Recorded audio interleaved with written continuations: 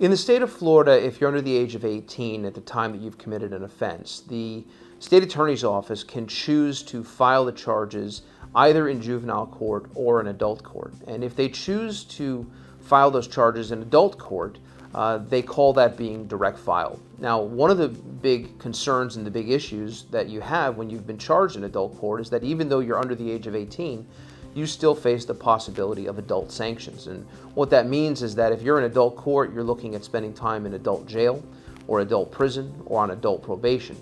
Now, one of the good things is that because you're a juvenile, there in many situations still is the option uh, for the judge to sentence you as a juvenile. Even though you're in adult court, he can put you in a juvenile program or on juvenile probation. Uh, but ultimately, that's going to be the fight. Uh, besides the question of whether you're guilty or innocent, the big fight is going to be how the court is going to punish you. And when the state puts you in adult court, uh, that punishment could be very severe. I'm Scott Berry with Scott Berry Law, and I'm defending your freedom one client at a time.